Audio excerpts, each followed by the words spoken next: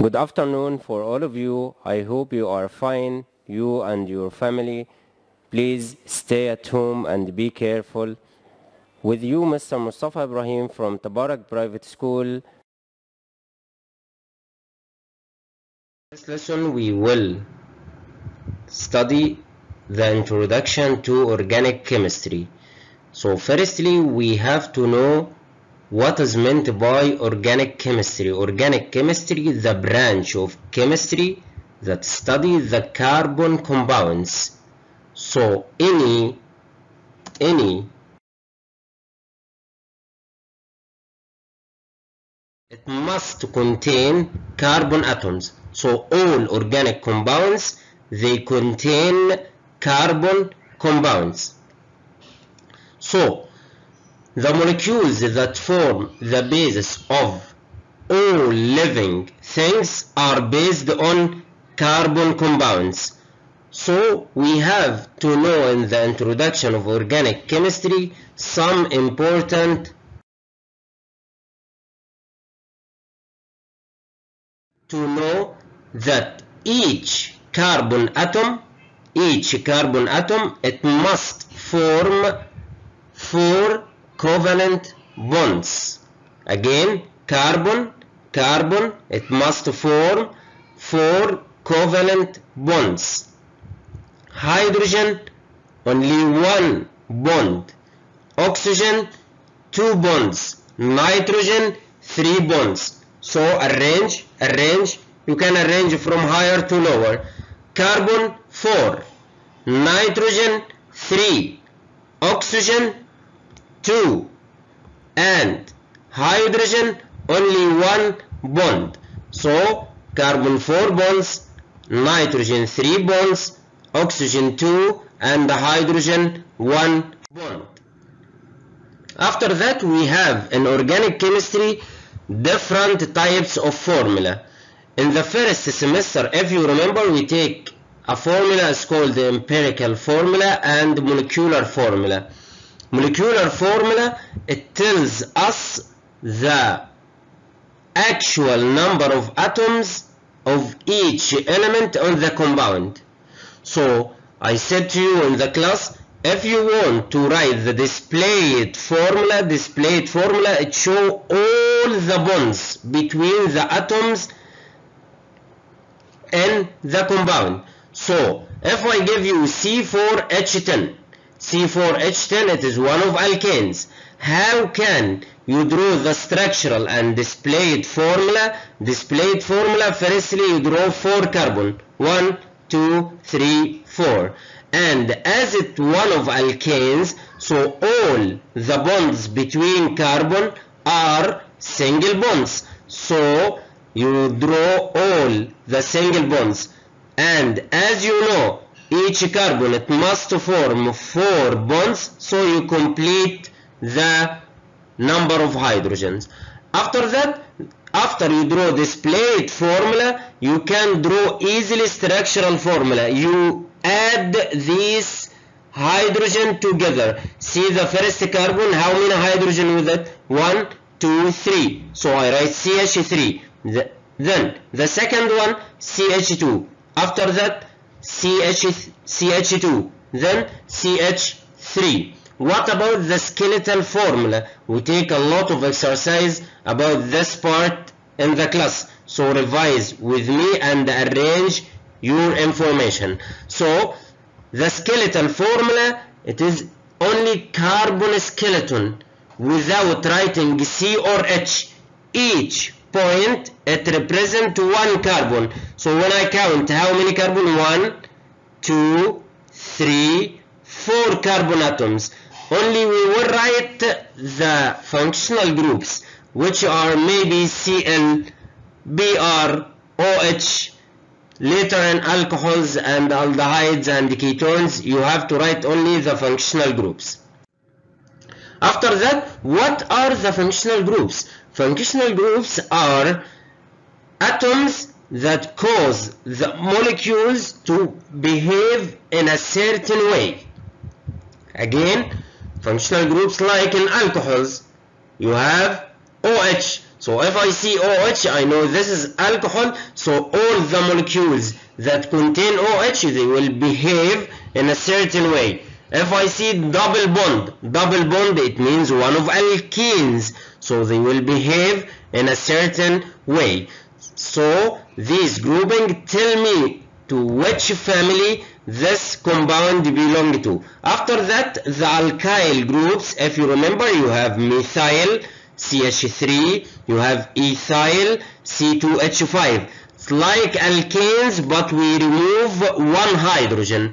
Remember with me, alkanes, CN, H2N plus 2. But alkyl groups, CN, H2N plus 1. After that, what are later in the second semester we will study six chapters. They are arranged in this slide.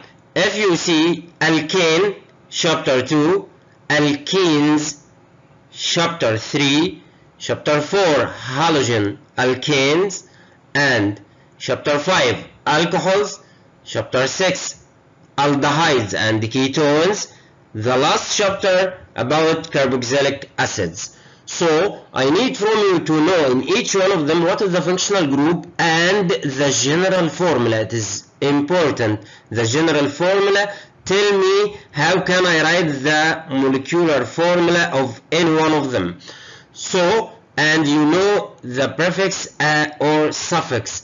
The prefix it means the start of the name. Suffix the end of the name. What I will write at the end of the name like alkane the name of any alkane ends by ane alkenes e-n-e so from the beginning alkanes they contain all single bonds alkenes double bond and halogen alkanes alkane but it is bonded to X. What is X? One of halogens. Halogens like Br, Cl or F and I.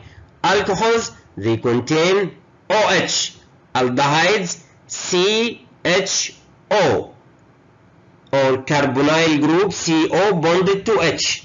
Ketones, C double bond O and carboxylic acids, COOH. Don't forget the general formula. We will study it one by one. Don't worry now if you didn't get any one of them. We will repeat. In alkanes, we will take a chapter about alkanes, alkenes, halogen alkanes, each one of them individually in a chapter. So, CnH2n plus 2, alkenes, CnH2n, halogen alkanes, CnH2n plus 1, X. X may be Br or Cl. If it is Br, bromo, Cl, chloro, and so on.